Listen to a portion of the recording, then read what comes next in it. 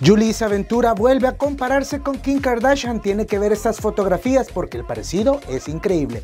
¿Quiere conocer un poco más de esto? Le invito a que me acompañe a Famarazzi. Yo soy Héctor Acosta. Bienvenidos.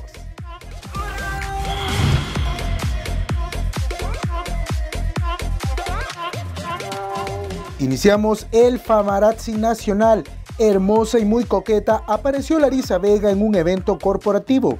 La rubia ambientó su outfit al estilo de los años 40, recordando la película El Gran Gatsby.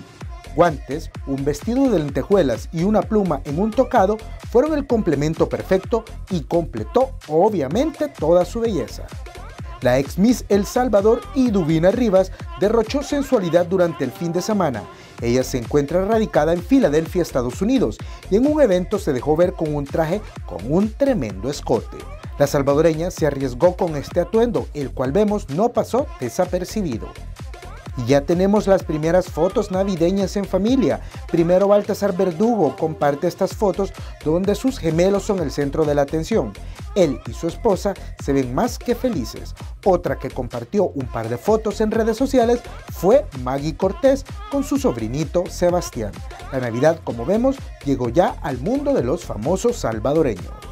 El cosplayer Romeo Meo mostró que no solo se disfraza, sino que tiene dotes de bailarín de ballet. Apareció en el parque Cuscatlán para una sesión de fotos donde encarnó al eterno Cascanueces, muy acorde, como sabemos, para esta época de Navidad. Yulisa Ventura es el clon de Kim Kardashian. Nuevamente las comparaciones con la celebridad norteamericana y la salvadoreña salieron a la luz.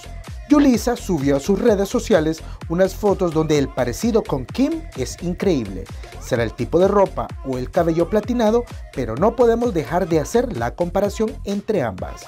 Yulisa es conocida por ser una mujer muy versátil y cambiar de look en varias ocasiones. ¿Usted qué opina? ¿Se parece o no a Kim? No podemos negar que Yulisa Ventura realmente tiene un cierto parecido, por lo menos en su ropa, con Kim Kardashian. Yo me despido hasta acá invitándole a todos los hombres a que utilicen los productos de Bare Attitude que están disponibles en las principales barberías de todo El Salvador. Ahí va a encontrar ceras, aceites, cepillos, jabones, todo lo que usted necesita para el cuidado integral de su barba. Yo se lo recomiendo. Hasta acá con los espectáculos por este día. Nos vemos hasta la próxima. Yo soy Héctor Acosta.